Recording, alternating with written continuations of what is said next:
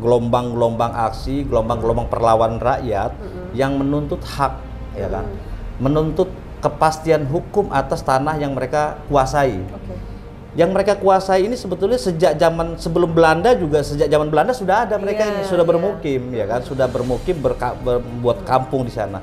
Dan bahkan sejak tahun 99 sudah ada desa definitif ini, Mbak. Oh, Jadi ada desa definitif di dalam kawasan hutan. Ini, ini yang, di, yang yang dibutuhin rakyat hari ini. Iya. Ayo sih berpihak sama kami sih gitu loh. Kami ini nggak minta apa-apa rakyat Iya, ini iya, gitu loh. Tolong mereka cuma pengen ngobrol gitu Iya, loh. Nah, sementara saluran-saluran itu rakyat nggak punya saluran-saluran itu. Gitu. Memang betul wakil gubernur selama ini jadi ya keset ya kan jadi jadi keset jadi pelengkap tapi bagi kita ke depannya ya nggak perlu jadi pelengkap kita mau kerja kita mau kerja kita dengerin aspirasi karena gini mbak Novi rakyat juga sulit nih gubernur juga sulit nih punya nggak mampu menjangkau sampai tingkat bawah iya. nggak mungkin lah Iya. menjangkau dia Oke. ya inilah wakil gubernur yang akan menjangkau itu Iya. semua kerja-kerja itu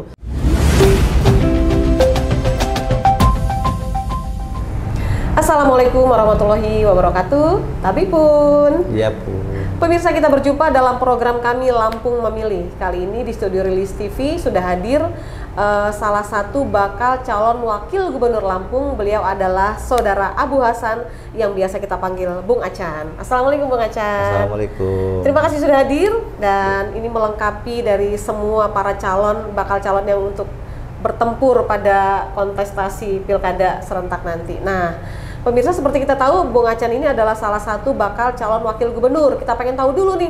Oh iya, beliau ini adalah aktivis ya. Basicnya adalah aktivis dan kebetulan hari ini adalah Hari Lingkungan Hidup di mana dia eh, beliau ini juga memang aktif dalam eh, concern dalam lingkungan hidup. Boleh cerita dulu nih udah berapa lama nih aktif sebagai aktivis lingkungan hidup?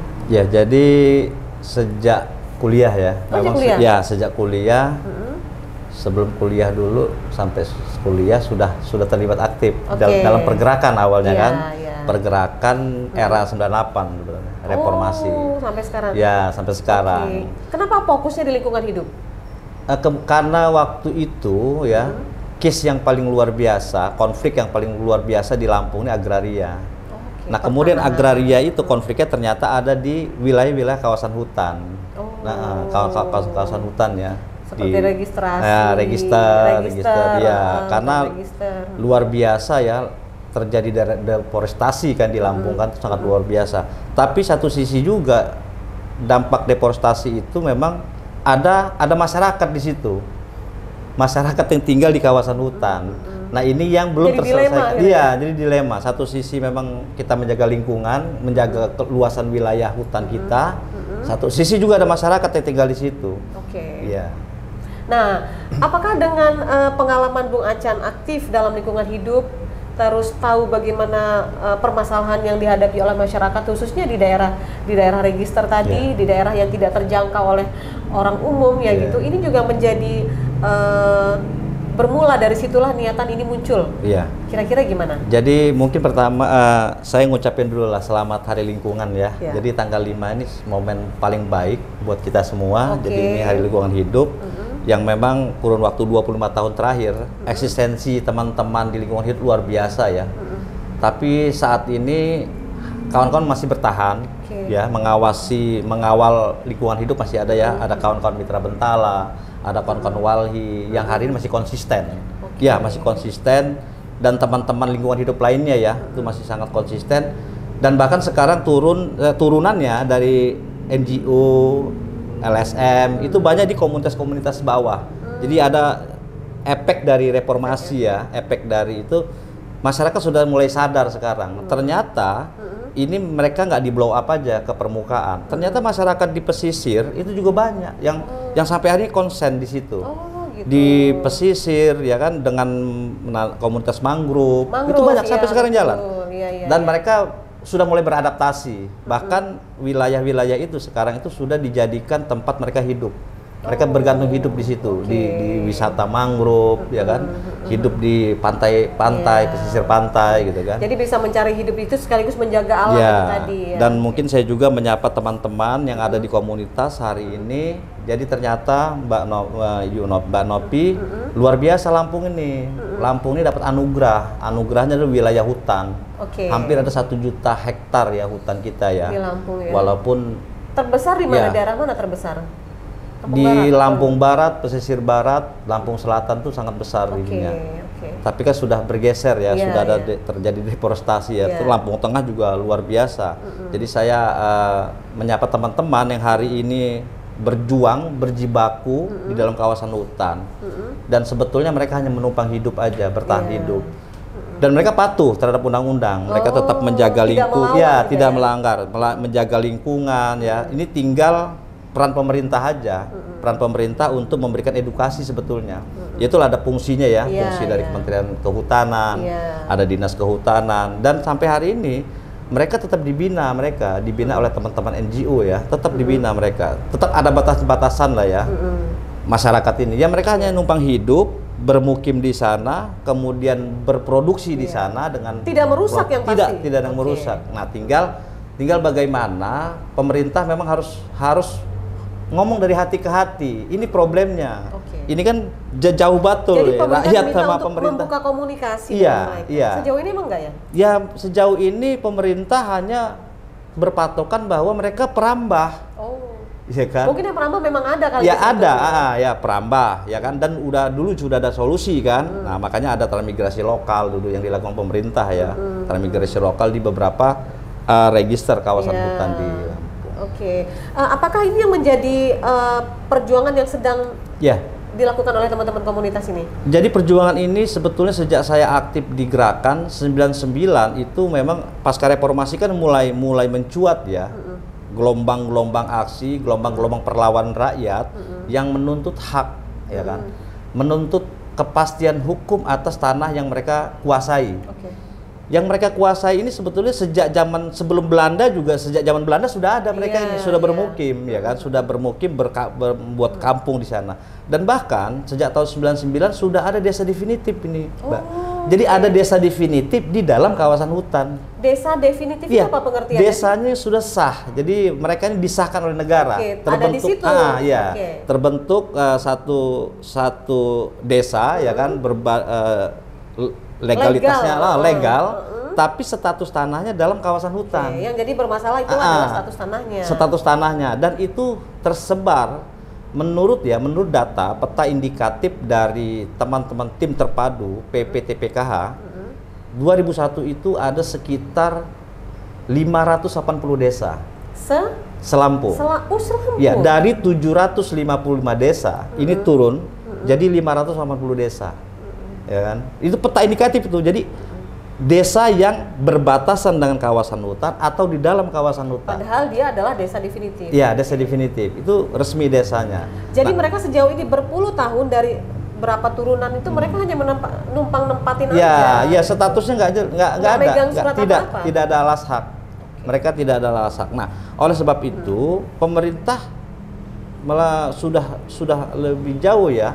Pemerintah mengambil langkah, ya kan? Tahun 2021 ya kan? Tahun 2020 kan ada undang-undang cipta kerja ya. Undang-undang 11 nomor nomor 11 tahun 2020 dasar undang-undang cipta kerja itu turunannya adalah eh, tentang peraturan menteri juga peraturan menteri nomor 7 tahun 2021 jadi pemerintah ini ngebuat regulasi aturan. Mm-mm. judulnya itu penat eh, PPTPKH ya. Jadi penyelesaian penguasaan tanah dalam kerangka penataan kawasan hutan Oke. jadi ini ada regulasi yang pemerintah keluarkan untuk mengatur menata itu.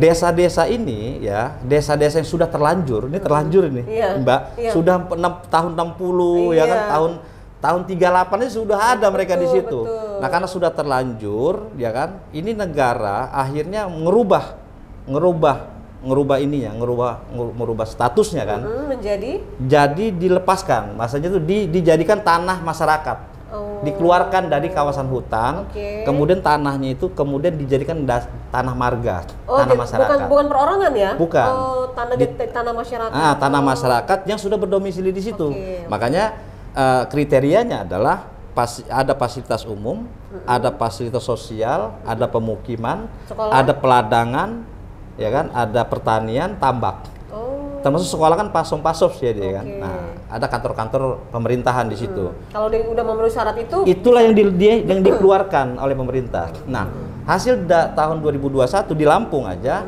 itu ada dua 19.000 hektar jumlahnya. Yang yang memang sudah masuk kriteria untuk di Dilepaskan, alihfungsikan. oke, Nah, dialihfungsikan dari kawasan hutan menjadi, Menjadi tanah masyarakat. tanah masyarakat. Oke. Dan ini dinanti sebetulnya oleh teman-teman. Oh, iya, iya, ya 580 desa itu menanti. hmm, progresnya Iya. gimana sampai saat ini? Ada satu kemarin bertepatan dengan tanggal 17 Agustus kemarin tahun 2023 itu di Sukapura. Di mana itu? Desa Sukapura itu letaknya di Lampung Barat. Oke. Itu sah itu dilepaskan oleh pemerintah kehutanan, oleh Kementerian Kehutanan.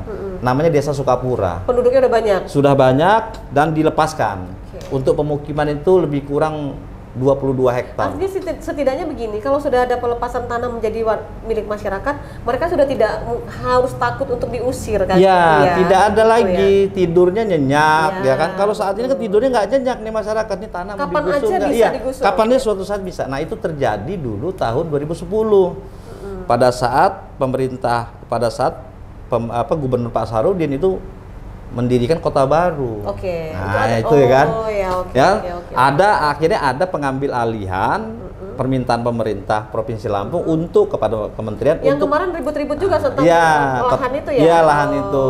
oke, Se baik. berapa tuh? Hampir 1350 Iya, hektar iya, kan. Nah, di situ kan ada masyarakat yang tinggal kan, tinggal. yang mengelola kawasan itu lewat program Gerhan dulu ya, Gerakan Rehabilitasi Hutan dan Lahan. Dan itu proyek pemerintah itu. Oke, ada baik. dana pemerintah. Baiklah, berawal dari sini kita eh, kembali ke tema kita. Bagaimana seorang aktivis lingkungan hidup bisa terpikir untuk maju menjadi nomor dua? Ya. Kenapa milihnya nomor dua di provinsi? Kenapa nggak di kota aja bisa jadi nomor satu atau gimana? Ada pemikiran apa kira-kira? Ya jadi sebetulnya ini kan semangat teman-teman komunitas sebetulnya. Jadi setiap kita melakukan advokasi sejak tahun 99 itu kita melakukan kan selalu akhirnya mentoknya itu di kebijakan lagi. Oke. Keberanian pemerintah daerah untuk mengambil keputusan, ya kan? masuk dalam Nah, situ ya. itu itu selalu selalu deadlock di situ. Oke. Nah, terus terus terusan begitu. Harus ada orang di situ Ya, artinya ya? memang harus ada keberanian ya. Kemudian keberpihakan. Ini, ini yang, di, yang yang dibutuhin rakyat hari ini. Iya. Ayo sih berpihak sama kami sih gitu loh. Kami ini nggak minta apa-apa rakyat Iya, ini iya, gitu iya. loh. Tolong mereka cuma pengen ngobrol gitu Iya, loh. iya. Nah, sementara saluran-saluran itu rakyat nggak punya saluran-saluran itu. Ya ada sebetul teman-teman penyelenggara di, par- di, di iya. dewan, ada juga, cuma cuma terbatas lagi. Iya, betul. Ada saluran mereka punya bupati, ya kan? Ini ya saya Komunikasinya ya, susah, ini ini dah contoh bupati Pak Nanang Ermanto ya kan itu kan dulu wilayahnya kan luas sekali itu gitu loh terus Lampung Barat ya kan tempat Pak Man- Pak Muklis dulu jadi bupati. Sekarang Pak Parosil kan. Itu luas juga. Terus di pesisir barat tempat tempat ini Pak Udo kan. Udo, ya. ya. Itu, itu luas semua itu. Nah Ya, itu ya. tinggal bagaimana diselesaikan. Bahkan yuk ini cerita sedikit. Di register 40 Gedung Wani itu ada enam desa. Gedung tahun? Gedung Wani ini Karanganyar, Jati Lampung Agung, Selatan, Lampung Jati Selatan, Agung, oke. Lampung Selatan, persis berdekatan dengan Bandar Lampung kan. Itu tahun 2018 mereka ketipu loh, Tipu gimana? tertipu oleh oknum hampir 1,6 miliar hanya untuk memproses itu pengajuan itu. Oh, jadi uang rame-rame nih. Iya uang rame-rame setiap kepala desa tuh sumbangan. Siapa yang Ada, mengambilnya? ada oknum yang mengatasnamakan Oknum ya? Ah, ah, oknum ya kan orang seseorang ngomong bahwa dia dekat dengan menteri, Oh, dekat aduh. dengan menteri kan. Ah, Ya akhirnya mereka Gila, sumbang. udah gitu aja udah. Jadi itu banyak. Bahkan di Lampung Tengah juga itu hampir hampir setengah miliar mereka. Sumbangan-sumbangan keluar akhirnya itu. Aduh. Sejak awal sudah kita bicara, udah kita kasih kasih warning kan hati-hati. Sebetulnya ini dalam proses permohonan tidak keluar uang se- sedikit pun, nggak ada keluar uang Iya. sama sekali. Bahkan itu sudah diperjelas sama pemerintah bahwa tidak ada pungutan apa pun. Oke. Ya kan? Nah, tinggal persoalannya kepala desa. Jadi ini masyarakat memohon kepada pemerintah KLHK itu kan diketahui kepala desa. Nah kemudian bupati hanya merekomendasikan aja loh. Iya. Bupati itu hanya mem- me- atas usulan masyarakat hanya merekomendasikan aja. Pak Menteri, Bu Menteri ini loh dari Lampung. Iya, nah iya, itu kenapa? Kena ada apa gitu loh Pak Bupati, Bupati Susah kawan-kawan banget ya, berat bener ya. gitu loh. Ada apa sih coba? itu juga harus dijelaskan ke ke masyarakat gitu loh. Jelaskan juga kenapa ini gini gitu. Bayangin PP TPKH itu lahir tahun 2021, Mbak. Nur. Itu ada lima provinsi yang menyelenggarakan program itu. Jawa Timur, Jawa Tengah, Jawa Barat, Banten dan Lampung. Sejak tahun 2001 hanya empat provinsi ini berjalan Oke. proses itu. Nah di Lampung ini tak- nggak terjadi. Nah itu loh, Iya, iya, iya. nggak terjadi. Teman-teman ini lemes sebetulnya kan kan kepala kepala desa ini kan. Kenapa enggak? Makanya harus masuk dulu nih dalam sistemnya ada apa sebenarnya Iya. gitu. Terus gini nih Bung Acan. Hmm. Sudah ngambil ber- eh, berkasnya di partai mana aja? Di PDI dan Partai Demokrat. Hanya dua? Iya, hanya Oke, dua, hanya dua iya. ya. Terus seberapa besar kans yang sampai saat ini Ya untuk mendapatkan kita rekomendasi itu? ya ini memang akhirnya kembali lagi ke partai ya, ya kan. Iya. Memang PDI punya punya juga nilai kan. Mereka memang mereka konsisten ya. Mereka konsisten 10 tahun tahun terakhir 10 tahun terakhir ini mereka ya berhadapan-hadapan dengan oligarki ya. Oke. Mereka berjibaku ya kan sejak zaman berlian Tihang dengan oke. Pak Pak Muklis. Muklis, ya. Kemudian zaman Pak Herman dengan Pak Sutono kan mereka bertarung gitu kan untuk melawan oligarki. Makanya saya tertarik dengan PDI. Di PDI ini konsisten saya bilang ya kan melawan oligarki yang ada di Lampung nih namanya SJC saya bilang kan. Karena apa ya udah jadi mitos loh, jadi ketakutan ketakutan para putra putri bangsa yang mau mau jadi pemimpin Iya, ini. iya, iya. Begini kalau nggak didukung kebon katanya kan nggak jadi Nggak nih kita jadi. nih. Wah gimana Manis- ini? Mindsetnya udah begitu ya. Nah ini mitos nih mau saya kita hancurkan lah ya bahwa memang kembali lagi ke partai politik ya partai politik juga harus membuka seluas-luasnya partisipasi rakyat. Iya. Nah saya ini kan rakyat, Iya. ya kan semua ini kita rakyat ya kan jangan juga dibeda-bedakan ada elit politik, Oh, ada iya. rakyat ya nggak boleh.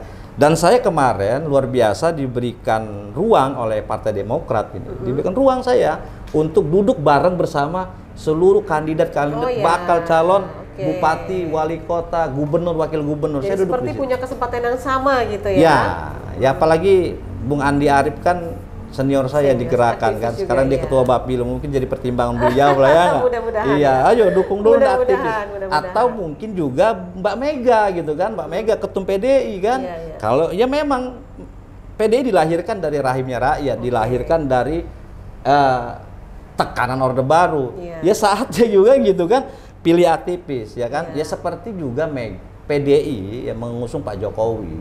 Sejak di Solo Pak Jokowi, kemudian Pak Jakarta. Jokowi di DKI, bahkan Pilpres dua kali. Iya. Nah kan kenapa enggak menjokowikan Abu juga di Lampung kan gitu kan? Amin, amin. Iya. mudah-mudahan. Terus gini, Bung Acan, apa pun bentuknya, berasal dari mana pun eh, basicnya, tetap ada kos politik ya. Ini Nah, gimana nih untuk kos itu. politik Bung Acan sendiri? Ya artinya gini, kan saya juga sudah bicara dengan teman-teman komunitas di bawah. Kita betul harus ngambil ngambil peluang ini kan, Iya. tapi juga kita konsekuensinya adalah kos politik. Iya. Apalagi ini demokrasi liberal, Betul. semua bicaranya itu. Tapi juga saya yakin teman-teman komunitas karena dia bersentuhan langsung dengan saya, berjuang di bawah, bergerak di bawah, saya yakin juga mereka juga sadar Iya. gitu loh. Orang berjuang aja mereka sumbangan kok Oke. sumbangan 2000 perak, 10.000 Iya, iya. perak untuk berangkat untuk berangkat ke Jakarta kita ngadep Iya, ini. iya. Berangkat sumbangan, sumbangan dapat nih Jadi terkumpul. hal, berangkat. sudah hal biasa kalau Ya, mereka berkorban sudah begitu biasa. ya. Kita sumbangan-sumbangan. Tapi memang ada yang yang wajib kan, yang yang wajib memang harus kita siapkan. Contoh di PDI umpamanya kan harus ada uang saksi. Iya, uang harus, saksi. Ya itu itu Oke. itu kan nanti dibicarakan oleh partai kan. Ketika Oke. PDI ngusung saya sebagai wakil Iya. kan, nanti dibicarakan lagi Akan di ada partai. sendiri ya. Seperti apa nih solusinya gitu kan. Kemudian nanti kan PDI pasti koalisi ini. Mbak Nopi nggak ada Iya. dia, Mbak. Dia nggak mungkin dia sendiri, Sendiri, ya kan. Dem oke. Gerindra juga sama. Hampir 9 pa- partai ini, 9 partai ini Tidak ya, ada yang sendiri ya? dia bisa ada sendiri. Nah, makanya Oke. harus berkoalisi. Sebenarnya itu nanti tahapan selanjutnya. Iya. Tapi gini, maksud saya terpikir mudah-mudahan ini jadi pikirannya partai politik bahwa hari ini hari ini ya hari ini Lampung ini butuh orang yang mau Iya. bekerja Iya. ya kan yang mau bekerja Dan bersentuhan langsung dengan Iya. masyarakat di tingkat bawah. ini saya sering ngomong ke teman-teman eh kalau kita mau jadi yang mau jadi pengurus negara saya bilang Mm-hmm. ini harus tahu saya bilang yang namanya problematikanya rakyat Iya. masalahnya rakyat keresahannya rakyat dia harus tahu Iya. lagi mana mau ngurus negara nih. Tapi nggak tahu masalah rakyat. Iya. ya akhirnya mereka lari. ketika ada rakyat yang minta tolong lari. Belum apa apa lari melarikan diri oh itu nanti urusannya bupati oh urusannya Tapi gini Bung Acan, Hmm. eh, fenomena yang terjadi tidak hanya di Lampung mungkin di daerah lain. Dalam perjalanannya si eh, nomor satu dan nomor dua ini jarang yang awet ya sampai selesai Ya. eh, satu periode. Nah, kira-kira seberapa besar keyakinan dari Bung Acan sendiri ketika nanti dirangkul atau diajak oleh salah satu yang Ya. Cagup itu untuk maju, terus eh, akan ada deal-dealan atau kesepakatan apa yang akan Bung Acan sampaikan supaya tidak lepas di tengah jalan ini? Jadi memang memang kalau bicara tentang politik, bicara kekuasaan, memang harus bicara juga tentang pemahaman tentang organisasi. Hmm. Nah, makanya ini juga belajar organisasi yang sangat panjang ini. Iya. ini jadi kalau gubernur dan wakil gubernur ini tahu fungsi kerjanya, itu dulu deh. Fungsi kerja gubernur apa, fungsi ke- kerja wakil Oke. gubernur apa. Nah, ketika pemahaman ini fungsi kerja ini sudah clear, ya kan? Ya selesai dia, nggak perlu ada ribut-ribut. Iya. Ini kadang-kadang mungkin ketidakpahaman mereka, mungkin nggak pernah ngobrol juga mereka. Eh, ini fungsimu gubernur. Saya bilang, gubernur adalah yang mengeksekusi kebijakan Iya. atas dasar pertimbangan wakil gubernur dong, Iya, ya nggak? oke. Wakil gubernur juga punya dasar di bawah, ya kan? Setelah ada kajian-kajian segala macam, wakil gubernur menyerahkan ke gubernur, Pak Gubernur, ini clear, ini rakyat clear nih masalahnya nih, jangan keluarnya ini, ya kan? Kita punya juga nih, apa namanya dinas-dinas sudah clear nih semuanya nih, ahli hukum kita sudah clear, clear, mau nggak? Komunikasi yang betul. Iya, mau nggak Oke. kita lakukan memutuskan kebijakan ini? Berani nggak nih gitu? Ya kalau nggak berani ya, ya ini juga masalah juga bagi gubernur.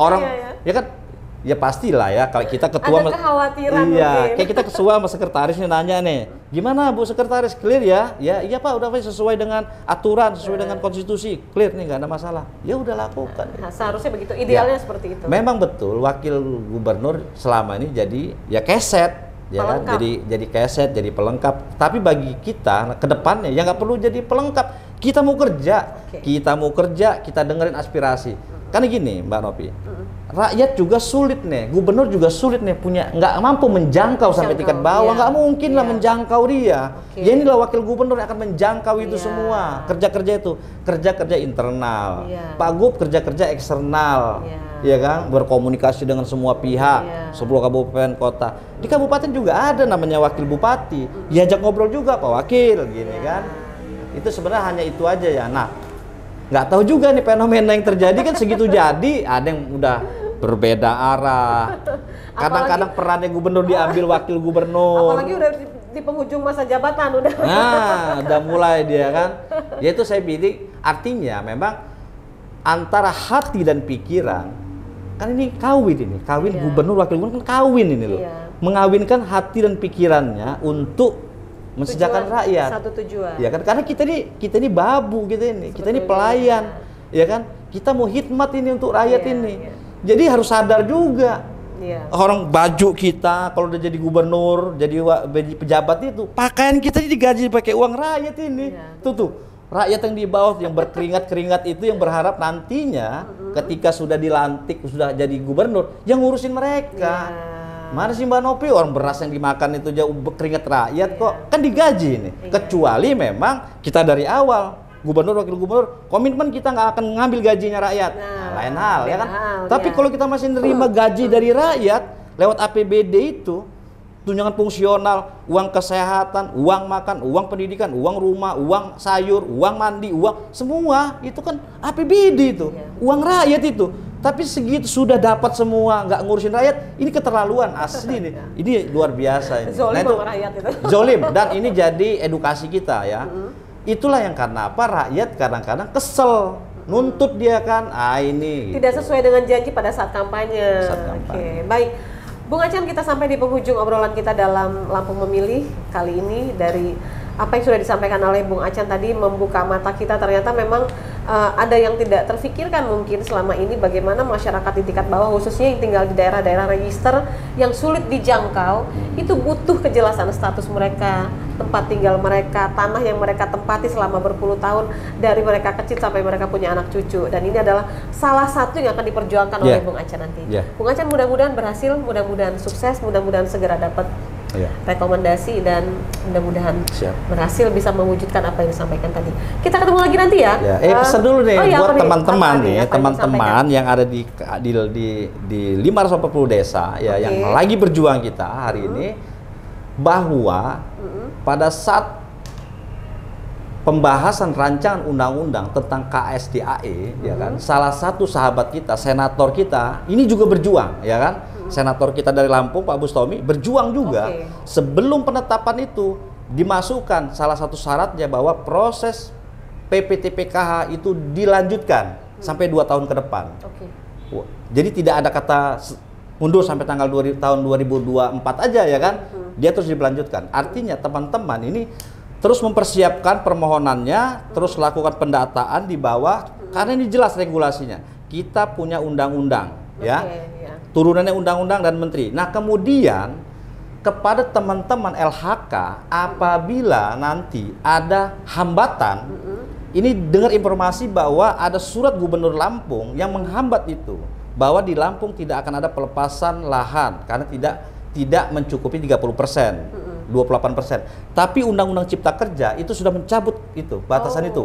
Jadi boleh. Ya karena ini sudah terlanjur. Yeah. Kecuali nambah lagi. Yeah. Kita mau bangun lagi di mana yeah. masa di di pesisir apa tuh Bukit Barisan mau kita bangun kampung ya nggak boleh okay. ini karena ini sudah terlanjur ada, ya sudah ada.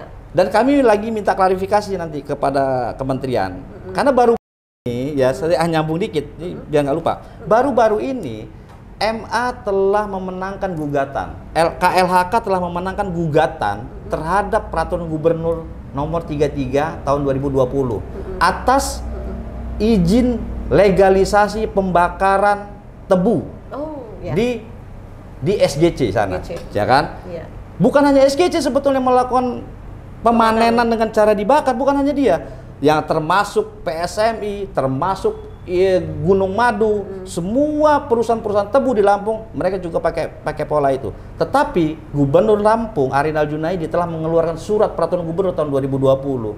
Seperti ini sama juga dengan PPT eh, problem yang dilakukan PPTPK akan ada surat juga yang diberikan ke LHK apa bentuknya pergub atau apa ini lagi kita selidikin apa nih menghambat karena ada kepala desa salah satu kepala desa menghadap ke kementerian apa coba? Maaf pak nggak bisa diproses pak permohonannya? Kenapa? Ada ada surat gubernur yang yeah. tidak iya. membolehkan pelepasan desa di kawasan hutan. Nah ini iya, problem. yeah, betul. jadi benturan lagi akhirnya. Ya makanya memang ini ke depan gubernur Lampung ke depan itu ya harus konsisten dia. Dia harus berani nggak boleh dia membatasi lagi ya kan? Nanti besok besok karena di bawah oligarki dia buat lagi nih perda ya nggak? Perda kemudian dia buat lagi ini ya akhirnya ya, memang nggak ada perubahan akhirnya. Ya. Oke. Terima kasih Mbak. Terima kasih Bung Acan waktunya hmm. dan paparannya jadi menambah ya. wawasan juga untuk kita semua yang menyaksikan dan jangan lupa untuk selalu menyaksikan program kami Lampung Memilih di channel YouTube Rilis Adi, eh, Rilis IDTV. Ya. Kita akan berjumpa lagi dalam program yang sama